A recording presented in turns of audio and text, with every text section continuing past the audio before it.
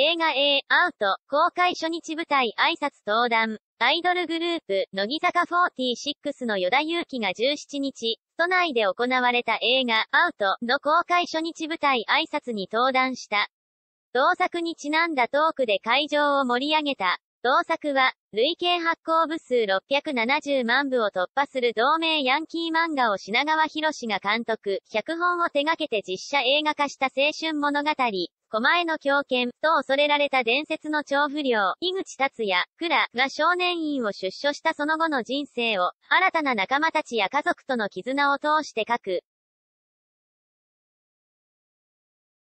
暴走族、三人、五代目総長、皆川千尋を演じた与田は、簡易サウナを利用して、湯気を出しながら撮影した男性陣のバトルシーンに触れて、大変だろうなぁ、と思いながら、劇中で人質として、縛られてましたね、と言って登壇者らの笑いを誘いつつ、本当に、ギリギリの戦い、みたいな感じだった。見てて目を背ける、みたいなところもあった。リアルに怖かったです、と当時の緊迫感を振り返った。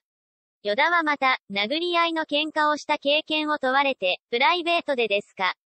最近はないです、と意味深に回答。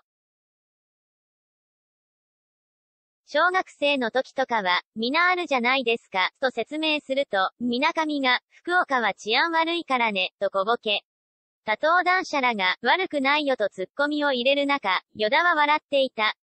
舞台挨拶には、主演の倉祐希、大悟小太郎、上腕の与那城章、大平翔生、金城壁会、渡辺まりな、杉本哲太、お笑いコンビ、品川庄司の庄司智春、品川博監督も出席した。